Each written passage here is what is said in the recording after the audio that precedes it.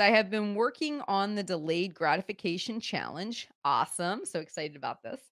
Um, she says, I've noticed that I will plan to have a certain treat, an ice cream cone for 180 calories. But if I have more calories at the end of the day, I will try to add on maybe some popcorn to use up all of my calories, even if I'm not hungry, and already will be satisfied with the pre planned treat. I am trying to work on this behavior today by weighing and measuring two snacks for a total of 300 calories um, to have in the evening and allowing myself both so that I don't have that fear of missing out. Okay, good question, Eileen. Um, so, what we want to think about on this is a couple things. One, you could actually do delayed gratification in a couple different ways. One, you're following the kind of protocol we have for the the challenge. The second one is come the end of the night, if you've got leftover calories, you could say, you know, I could eat this bag of popcorn tonight. I could eat it. I've got enough calories, could totally do it. I'm not particularly hungry though. I'm feeling fairly, uh, you know, pretty satisfied. So you know what I'm gonna do? I'm gonna stick this in my container for tomorrow. I'm gonna hold on to it. I know I have enough calories today, so it's almost a, a freebie snack tomorrow if I want it. But I don't have to eat it tonight. Just uh, so the, the issue with the calories is that we think they literally have a 24 hour shelf life, right? like if I don't use them today, I lose them. So unfortunately, I know that's how the Weight Watchers point system works, where at the end of the day, now I take it back. I think their newest program, they actually let you roll some points over for another day if you want, right? So so what you want to think about is they don't expire. It's more important that you're hitting a average calorie amount for the for the entirety of the week, okay? So if you're looking at wanting to hit an average of 1800 calories, you may have some days that are higher, some days that are lower, but when you add them all up, divide by 7, you're shooting for 1800. It's not as important where and when in the week those calories happen, okay? So you want to really structure it in a way that works for you. So in that moment, you're seeing, oh, I got calories left. It's kind of like found money, right? Oh, I got money. It doesn't mean you have to spend it in this moment. So you could put the popcorn to the side, say, I technically could have consumed it today. I'm going to put it in my container and I'm going to save it in case I need it tomorrow if I if I choose to. But you don't have to eat it. It's totally up to you, right? You can give yourself that privilege or that permission to have it the next day. You you saved ultimately calories from the previous day, you can roll them over.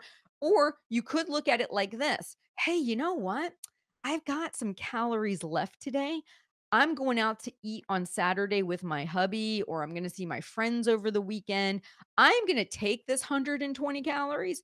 I'm going to, or whatever it is, I'm going to move it to Saturday. I'm going to give myself a bigger calorie budget on that day because I chose not to spend them tonight on popcorn that I didn't really want because I was already content. I had my ice cream treat. I'm feeling really good. So these are two different ways, okay, so far that we've talked about delayed gratification. One, you could save the popcorn, have it tomorrow as like a, a kind of a freebie treat because you ultimately had the calories today, but you opted not to consume it today.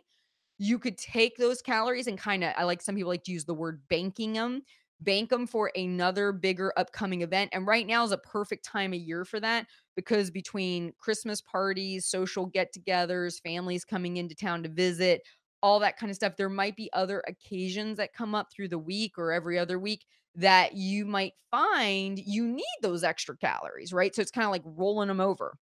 So that's another way you can actually do delayed gratification, but on a bigger scale than just a 24 hour cycle. Okay.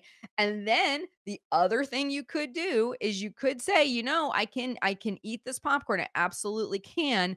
Um, eh, you know, if if I really want to, and really this comes down to your level of scarcity with food. Um, but honestly, I would probably pick one of those other two options. I'd either save that bag of popcorn for a day I'm truly hungry because hunger ebbs and flows. Even though we try to eat the same consistent calories, some days you might work out harder, some days you might move more, you might be hungrier. Better to save that snack for a day you actually are going to need it or want it versus eating it on a day where you're already content and really not interested. Um, or again, saving those calories for a time that you're going to be eating out. So I hope that that helps. Um, but always, if you're struggling with scarcity around food, better to let yourself eat the popcorn, maintain the calorie target, Um, a and and remind yourself of these other options, and sooner or later, you're gonna start to take them. You're already doing delayed gratification, so you're already getting familiar with this practice.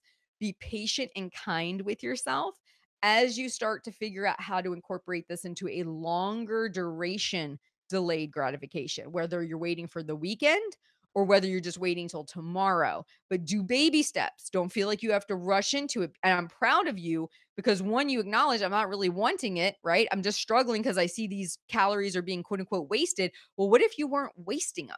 What if you actually were putting them to really good use in a different context? And that's what we wanna be thinking about.